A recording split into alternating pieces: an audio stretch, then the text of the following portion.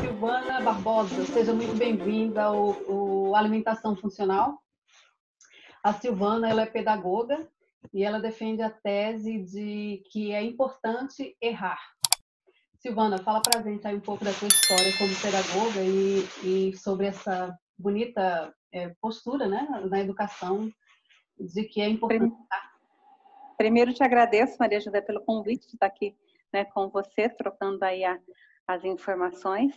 É, eu sou professora é, de História, tem 30 anos que eu trabalho com a educação, e aí no decorrer do período de, de, de professora eu fiz pedagogia, então sou pedagoga também.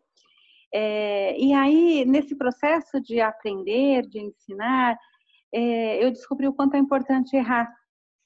E às vezes a gente não dá muito valor a essa situação do erro e a gente passa por cima e às vezes a gente até é um pouco ignorante com a ideia do erro. Às vezes o aluno está errando, a gente quer que ele aprenda rápido, a gente quer que ele saiba tudo. Em casa, como mãe, como irmã, a gente também quer que né, as pessoas aprendam rápido e saibam tudo, e não é assim. As pessoas têm o seu tempo de maturação, têm o seu tempo de maturidade. E o errar significa que a pessoa está tentando. E se ela está tentando, ela está colocando o que ela sabe é, de forma equivocada, mas ela está colocando e, e tentando fazer o seu melhor. E quando ela passa a ser valorizada, mesmo com os erros, ela começa a tentar mais. E nesse tentar mais, ela vai perceber que aquela forma errada, ela vai fazer outra. Pode estar errado, mas aí ela vai fazer outra, que também pode estar errado. Mas aí ela vai eliminando as possibilidades erradas até que ela vai chegar à conclusão de que não esse é o caminho, esse é o correto. Então, se você simplesmente ignora o erro e já fala, não, para, isso está errado, você não dá para criança ou para adolescente a possibilidade de, nossa, errar, legal, essa possibilidade então já não serve mais, vamos para outra. E aí você está estimulando com que a criança aprenda, inclusive com autonomia. Então, o erro é muito importante. Hum. Você está de acordo é, comigo que às vezes as crianças genuínas, né, as, as, que são diferentes ou às vezes até as rebeldes, elas é, de uma certa maneira até com a sua criatividade ou com a sua irreverência, elas mudam as normas assim da sociedade. O que é que você, você tem? Sim, com certeza, né? A, a, a criança ela, ela, o adolescente ele precisa da rebeldia para poder questionar o que está aí posto na sociedade e está transformando e melhorando. Então é importante ele ter essa irreverência para que ele também avalie a, a, o que funciona para ele. Às vezes o que funciona para uma sociedade em um determinado tempo era ótimo há 10 anos atrás, há 20 anos atrás, e daqui a 20 anos já não é mais. Então, é importante essa irreverência, é importante esses questionamentos, é importante que os adolescentes falem não para a sociedade que está aí, para que ela seja cada vez mais avaliada e avançada e melhor. Né? Então, eu acho que é, é, é muito importante. Então, a, a escola ela precisa incentivar a rebeldia, respeitando os limites de uma sociedade respeitosa, né? Vamos dizer assim. Então, tem algumas regras que não dá para se infringir, como respeito, né, como é, é, entender que o outro é tão importante quanto a gente, esse é um processo de aprendizado. Mas fora isso, o adolescente e a criança têm que ter total liberdade para questionar e para dizer não, vocês estão errados e vamos construir coisas novas em cima disso, é importante.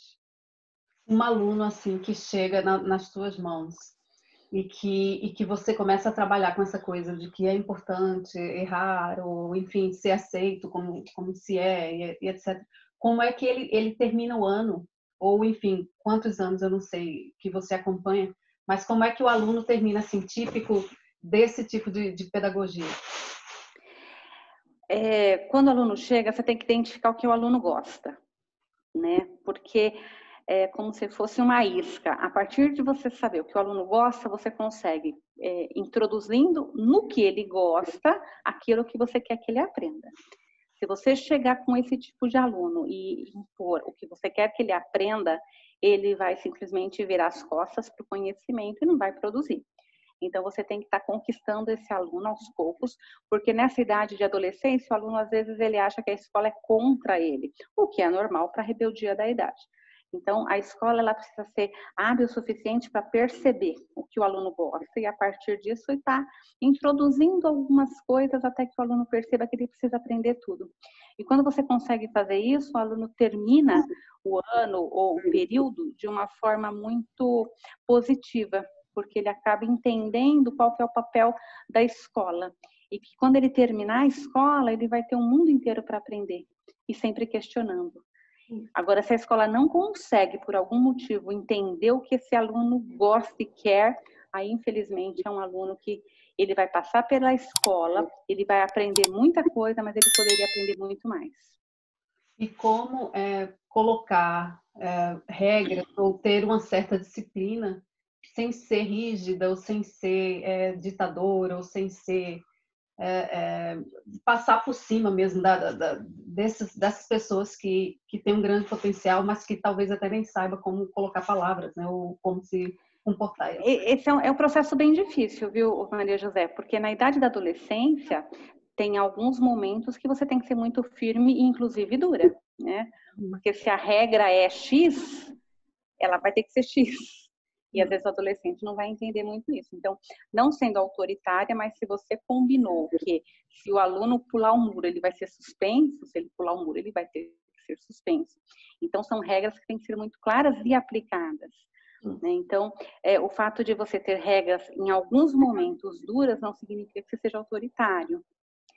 É, mas precisa é, você cumprir aquilo que você promete. Se você está na regra da escola, se pular o muro vai ser suspenso, o aluno pula o muro e você não suspende, ele não vai entender que a sociedade tem regras e que se ele violar algumas regras, ele pode ter as suas consequências. Então, isso também é importante ter numa escola, né? As regras claras, algumas até punitivas ou não, dependendo qual é o foco da escola e dos combinados, mas o que é combinado nas regras, elas serem, têm que ser cumpridas, mesmo que o aluno ache que isso é uma coisa é, inadequada. Com o tempo, lá na frente, ele percebe, ele até fala, nossa, aquilo é, realmente foi necessário, porque senão eu não iria aprender que a sociedade tem, tem regras e tem regras muito claras.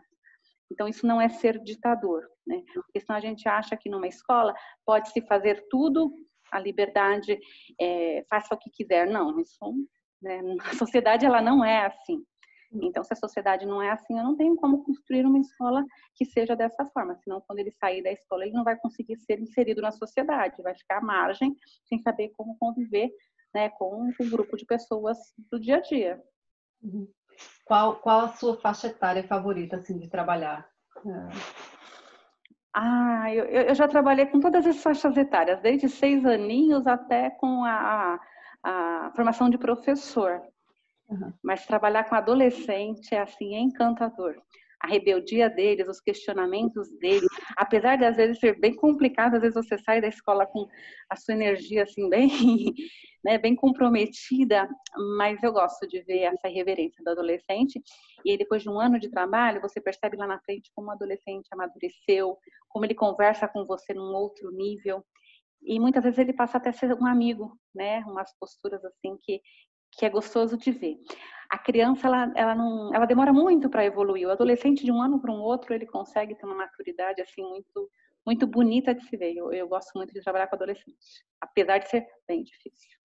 E, tipo assim, você, você, quanto mais problema o aluno tiver, é melhor? Ou você é, gosta de, tipo, quando o aluno já está saindo um pouco da curva ali, você já pede ajuda para os colegas, eh, faz reunião com os pais, como é que é o funciona aí essa o plano A, o plano B, enfim?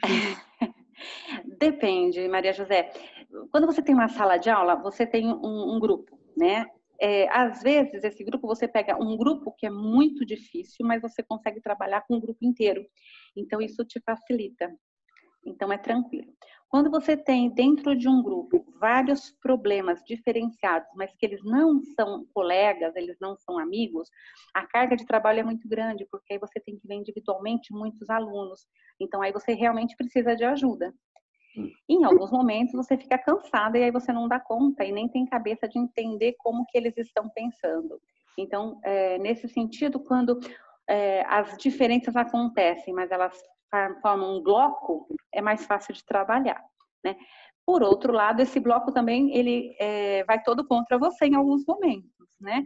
Eu tive uma situação, até foi no ano passado, é, que eu passei uma atividade para a classe, uma classe de terceiro ano do ensino médio, eles faziam técnico, e eu estava dando história, e eu dei uma atividade, cheguei na aula no dia de, de receber a atividade, eles me falaram, não, você não marcou a data. Eu havia marcado, eu havia agendado, eu tinha certeza. Eu fiquei muito brava. Né? E aí a questão é, olha, se vocês querem que eu mude a data, perfeito, a gente muda a data, não tem problema. Desde que vocês falem que eu falei que a gente tinha essa data. Se vocês falarem a verdade, eu mudo a data. Aí eles, é, tá, se marcou realmente. Então aí você consegue trabalhar junto, entendeu? Mas não deles tipo agirem e falar assim, não, você não marcou data nenhuma. Não, espera lá, eu marquei, né? Vamos mudar? Ah, ninguém fez? Vamos mudar, num consenso. Então, se a gente tem um combinado, então com adolescente isso é muito interessante, você estar tá fazendo esse, esse jogo. Eles tiveram que falar a verdade e aí conseguiram aquilo que eles queriam. Então, foi bem, foi bem legal. Que bom. E, e deve ser bem assim, é desafiador, né? Para você é, observar essas pessoas que, que te levam ao teu limite, assim, cada é, vez. É, porque na hora da raiva, né? Você é um ser humano. O, os alunos, a classe inteira fala que você fez uma coisa que você não fez. Aí você, né? Eu não tô louca?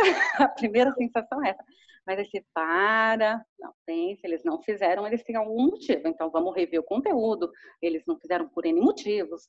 Beleza, a gente consegue mudar isso. Mas tem hora que a gente perde também o foco e acaba sendo né, um pouco autoritária e tudo bem. Mas naquele momento eu fui sábia, hum. é, fiz eles reverem a posição deles, né?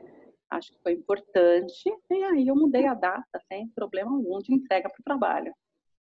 Você, você acha que o pedagogo ele já nasce feito ou ele pode se fazer na universidade ou é só na prática que, que o pedagogo ele vai se, se fazendo ou se refazendo a cada dia? Como é que funciona aí? Olha, nascer feito não nasce não, né? É, hoje tem muita gente que tem habilidade de ensinar, né? Tem pessoas que têm facilidade de passar o conteúdo para algumas pessoas, isso é muito importante. Mas para você trabalhar a educação, a aprendizagem, você precisa de uma formação técnica. Você precisa entender como que o aluno aprende, como aquele aluno com dificuldade, ou que tem alguma síndrome, ou problema social dele, o que, que aquilo afeta a aprendizagem dele.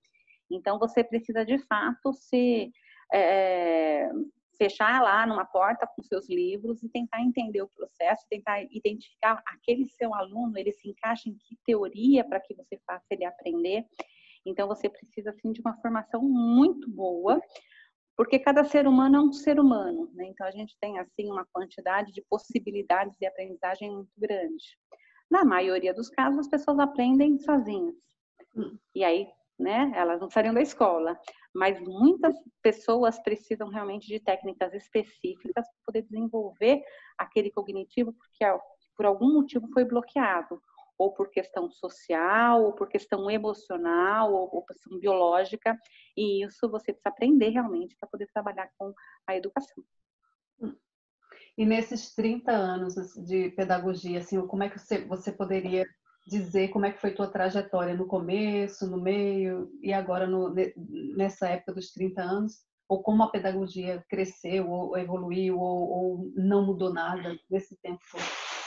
Mudou bastante, né? É, eu comecei é, lá atrás achando que ensinar era simplesmente chegar lá e, e, passar o conhecimento que a gente sabe. E aí eu percebi que não, não é assim. Não adianta eu falar o que eu sei, eu tenho que fazer o aluno aprender. Né? Então eu amadureci muito nesse processo.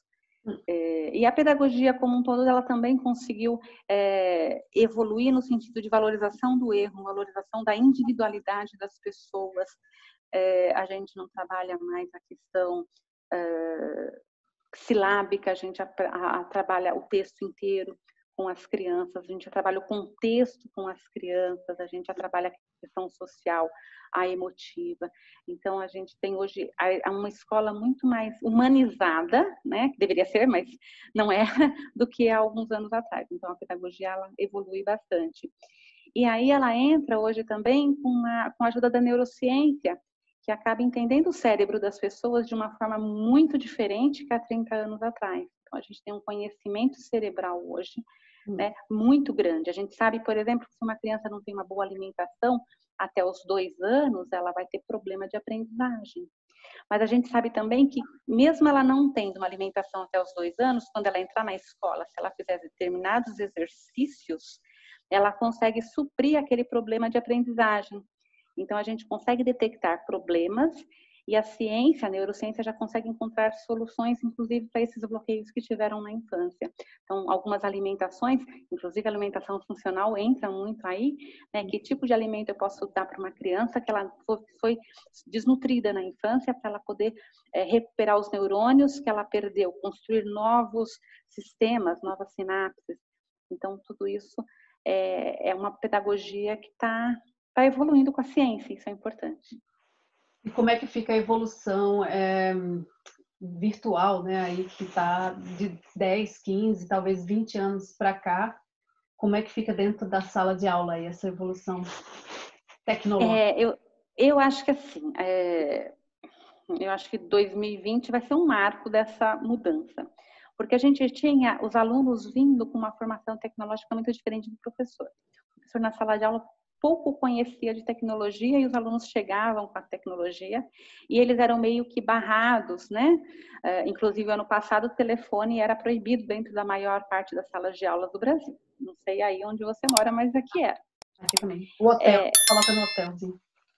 Então, e agora, depois da pandemia, a situação foi totalmente alterada. Os professores, todos os professores hoje dominam muito mais a tecnologia do que no início do ano. Então, penso eu que quando a gente retornar para uma sala de aula, nós vamos ter um outro mundo. A gente vai ter um professor entendendo o que é tecnologia, entendendo que o aluno pode é, pesquisar muito mais, entendendo que o aluno pode ter autonomia. Então, eu creio que a gente vai é, voltar diferente, porque o aluno já sabia de tudo isso ele já sabia que ele podia pesquisar, ele já sabia que ele podia ter informação, ele já sabia aonde hum. encontrar algumas informações, apesar de não saber exatamente a qualidade dessas informações, mas ele conhecia o caminho. E agora a gente tem o professor que entrou nessa, nesse jogo da tecnologia. E muitos gostaram, viu? Você pode ter certeza.